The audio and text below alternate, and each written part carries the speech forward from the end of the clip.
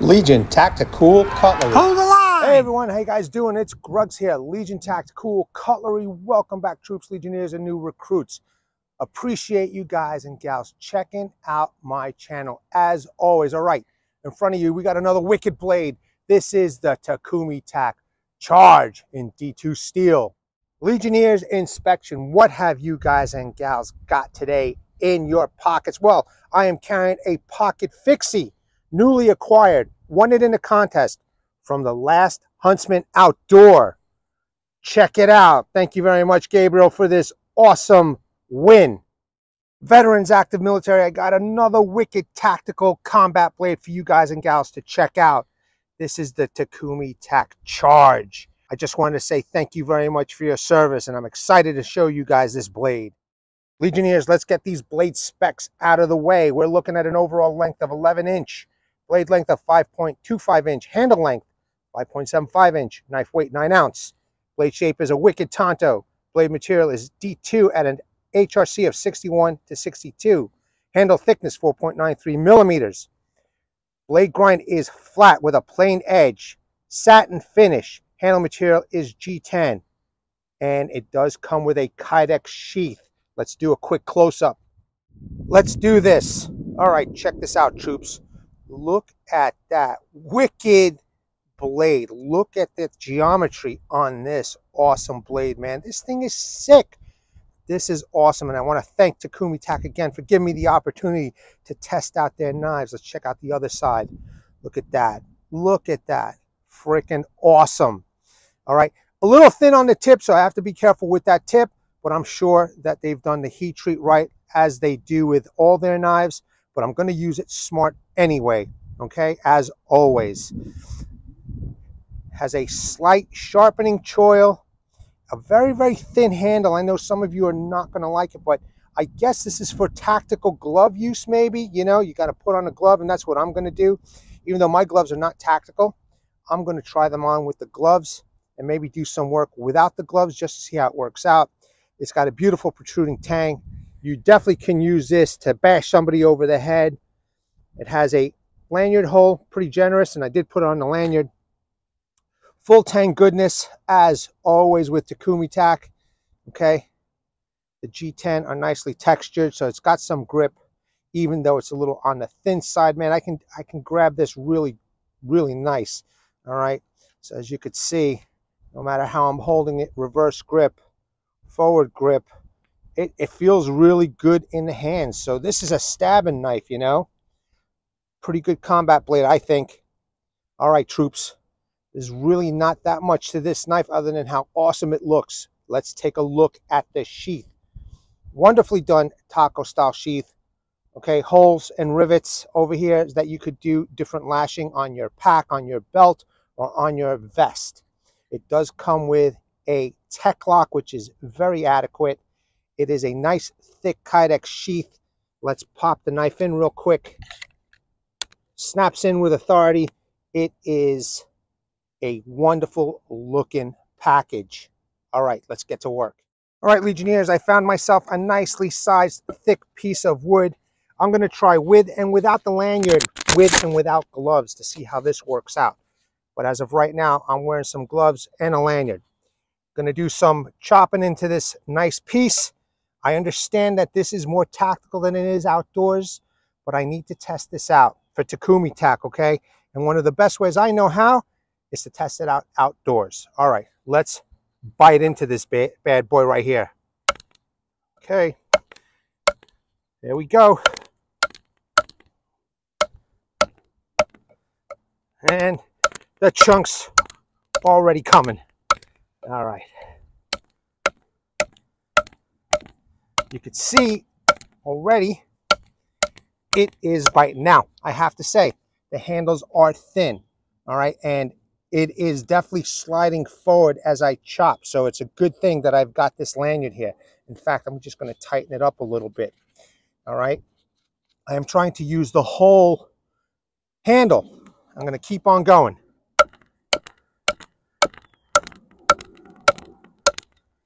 So far, we're looking good. It's very light. it's not heavy at all. So, you know, for somebody who's doing combat or some kind of martial arts, it definitely flows within the hand. So, obviously though, you know, if you're a soldier, somebody tactical, operative, and you're out in the woods, you know, you need to use this knife. Far so good, I'll tell you what. So it is definitely digging in to this piece right here. And it's a nice sized piece, okay?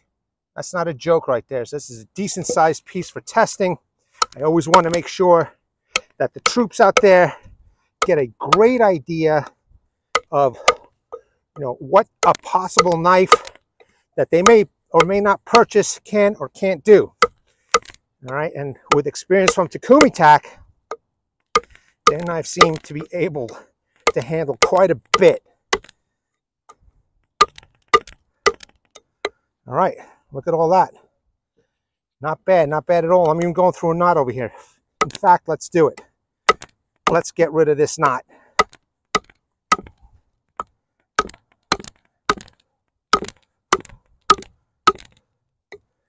Still digging in, still chopping good. I'm using every part of the blade.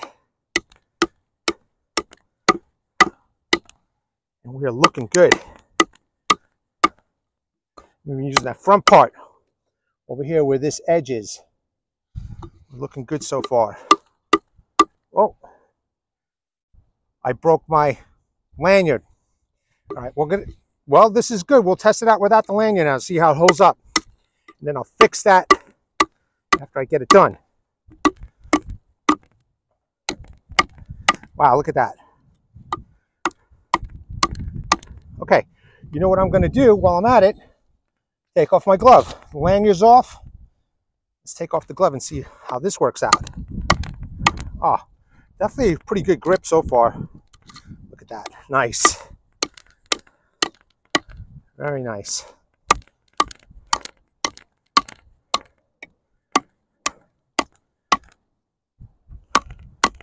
Definitely sliding more towards the rear of the handle. So just be aware of that, troops. Okay, and I'm sure it has something to do with the handle being so thin. So as a suggestion, I don't know if they're going to do, but as a suggestion, you know, put a handle here with swells. I think that might benefit you guys.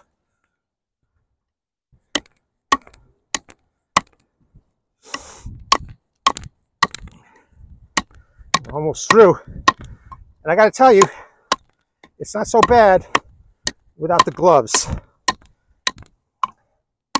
Now, I'm no expert in tactical gloves, but I know there's some real thick ones out there. So it's just an assumption, and I'm sure Takumitak will get back to me. It's just an assumption that, you know, they made these handles, you know, more for, again, for tactical use.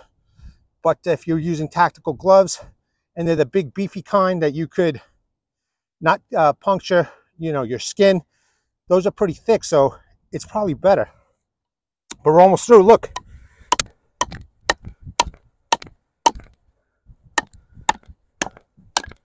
Oh, that was a surprise. All right. Awesome, awesome troops. All right, Legionnaires, that was surprisingly easy to chop through. And it did a fine job for such a tactical blade. So my next uh, step that I want to do is I want to just quickly do some vertical batoning and see how it works out. Decent size thickness. All right, I want to see how this spine works out. And the tip, I'm hitting the tip. All right. All right, good. Looking good. Real good. Let's do it again. Let's make quarters and then we'll have kindling for a fire, uh, fire stove or campfire. Nice. Great. Let me just put this up on the side. Here's a nice thicker piece. All right. Let's get it done. Excellent. Ooh. All right. And I did go through a knot, troops. Check it out. I felt some resistance and I was like, wow, what the heck is that? But it went through that knot, not a problem. let's do some horizontal batoning instead of the vertical, okay? But I'm pretty satisfied with this right here. All right, let's make some feather sticks.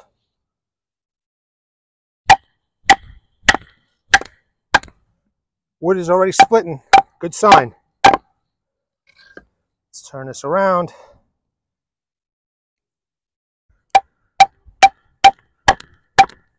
Look at that, right through handle and all, okay? No holding back. Handle looks good, all right? Let's, wow, look at that, it's split all the way around. Let's do the other side and finish this off.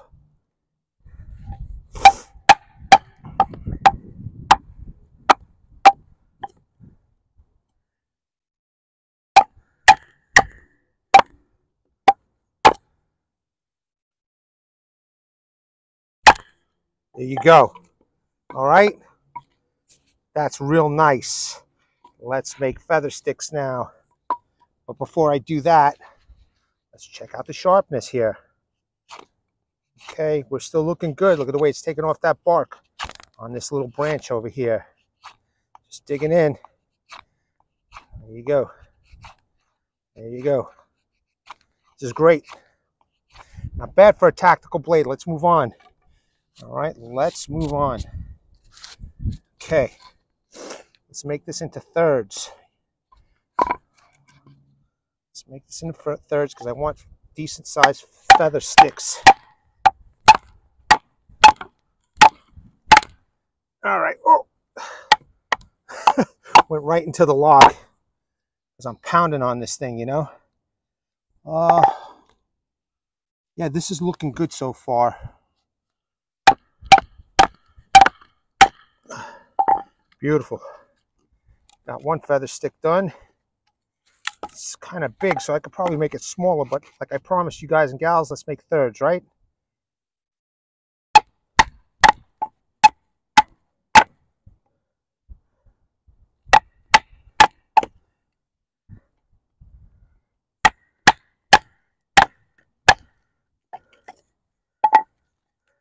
There we go.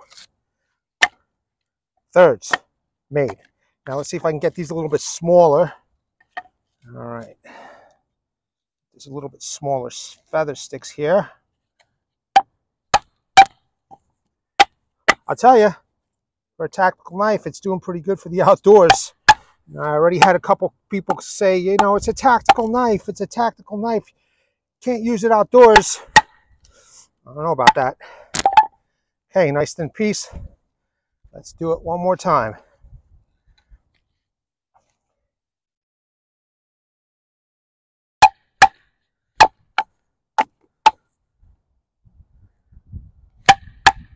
Looking good.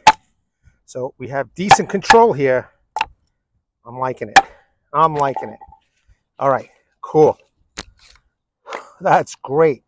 Let's make some feather sticks out of these. Troops, before we move on, I just want to show you guys and gals the edge over here. We are looking good. There are no warps, chips, bends of the blade of any kind after all that chopping. I do have to say, this is a thin blade, you know, but it is doing a fantastic job so far. Okay, let's make some feather sticks here. All right. All right, it is windy over here, so I might be losing some of this stuff, but look at that. Look at how thin I am making this stuff. Look at that. See if I can capture it. All right, what I want you guys and gals to see really nice and thin. So individual curls, check. Troops, check. Look at that. All right. Now let's make some feathers. All right. Again, learning curve with every knife, but we'll get it done.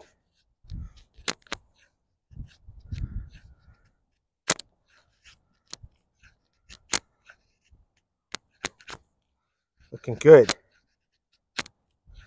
It is thin. It is a thin blade and it is doing a heck of a job, troops. All right, cool. It's windy, but you could see that it made individual curls over here. All right, and it did make a really decent feather stick for the most part. All right, I'm satisfied with this. I'll probably make a little bit more off camera, but just to give you guys and gals an idea. Now I want to test out this tip.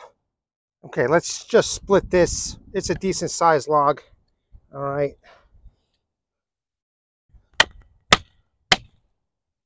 Okay. It did go through the tip. Looks good.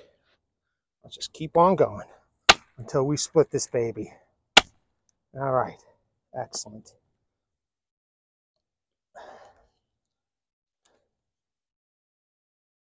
Just going to continue at the thick part.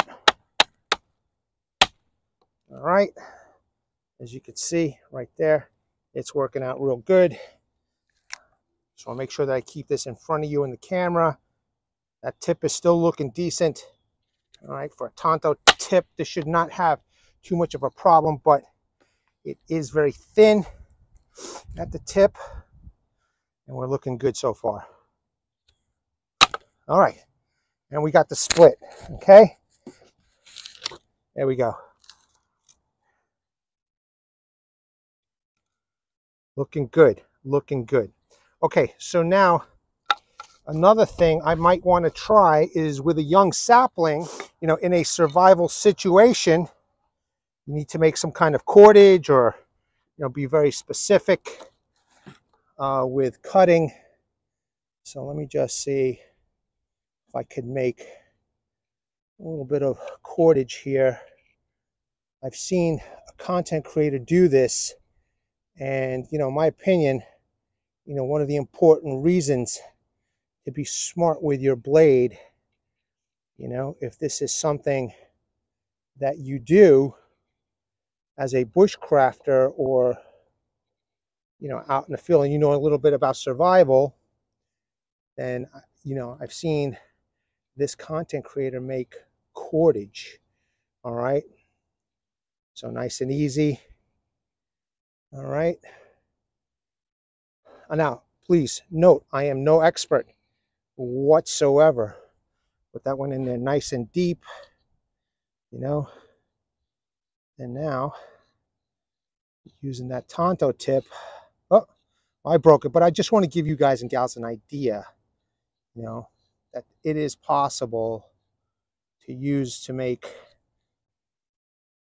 you know, the strips out of the saplings, you know, with your tip, okay? That's why you want to use it smart. That's why you don't want to, you know, do anything foolish with the tip because it could serve you well when you're out in the field, all right?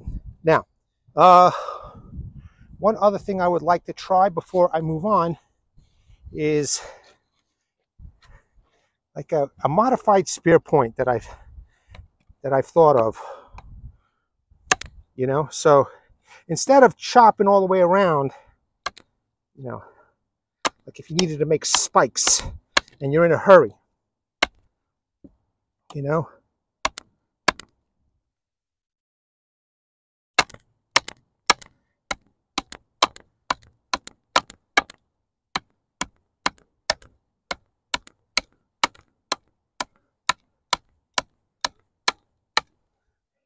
Okay.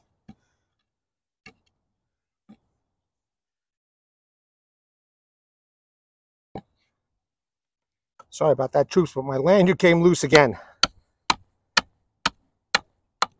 All right, look. Okay.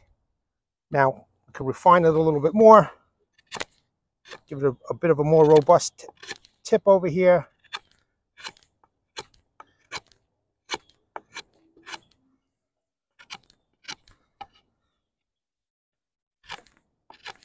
You wanted to speed things up. Maybe this is one way in my opinion, to make a tip or spike. You know, if the predator's after you and you need to make a spike, there you go. That was pretty easy, pretty fast, just by chopping at a 45 degree-ish angle, okay? And then making the spear point right there. Wow, that's sharp. Pretty cool, right? All right, let's move on. We are still looking good. The tip looks good.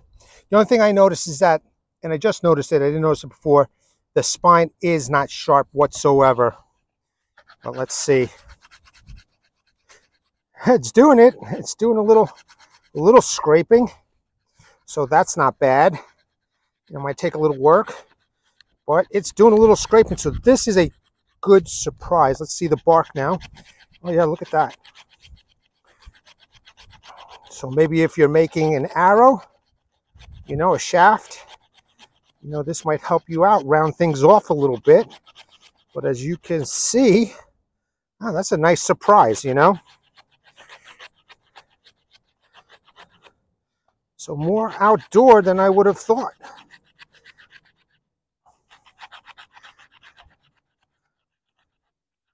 Okay, excellent. All right, check it out.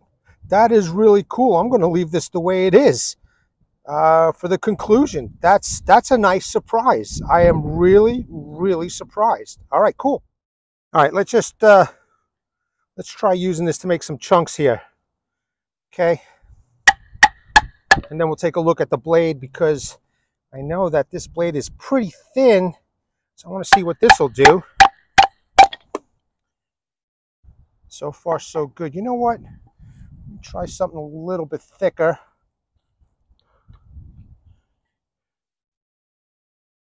Let's use this. See, that's pretty nice and thick. All right, let's see. Actually, you know what? Let me cut this in half.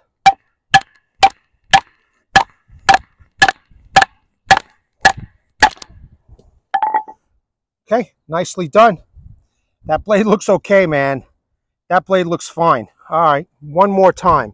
And then I'm concluding because this knife, you know, for a quote unquote tactical knife, this is badass outdoors, man. This is great. All right. I'm giving you guys and gals a good angle. There we go. Right into the stump. Yeah. Look at that. We're looking good. There's nothing wrong with this blade. This blade kicks some ass. All right. I'm good to go, troops. Legionnaires, you cannot deny this is a tactical outdoor blade. This knife kicks some serious ass. I don't care how you slice it. I don't care if you're all going to say this is just a tactical knife. This did the job. The proof is in the video. This is one badass blade. All right, troops, legionnaires, and new recruits, as always, appreciate you guys and gals for checking out my channel. I want to bring awareness to everybody. Hashtag 22 a day. Hashtag 22 a day no more. There are veterans in active military that wants to get out of the service. They do face a lot of challenges. And unfortunately, one of these challenges is suicide. So at the end of this video will be some slides that you guys and gals can pause on. Please read those websites. Please read those phone numbers. Also, there is a heartfelt message from one of your own. Martin Miller, he's a legionnaire of this channel. Also a Vietnam veteran. He has been there, he has done that, and he has gone through what you guys and gals possibly are going through. So please seek the help that you all have earned and deserved. All right, troops, legionnaires, and new recruits, as always, thank you very much for your time. I hope you enjoyed this video. Let me know in the comments below what you think about this blade. As far as I'm concerned, this blade is badass. At the ready, troops. Hold the line. Take care.